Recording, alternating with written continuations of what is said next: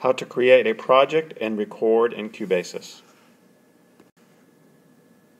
Tap Create Project with MIDI and Audio. Please name it Mystery Song, your name. Tap here to close the project window. Tap here to get a keyboard. Tap here to record your mystery song. It should look like this, but if it doesn't, you can tap here to undo your recording.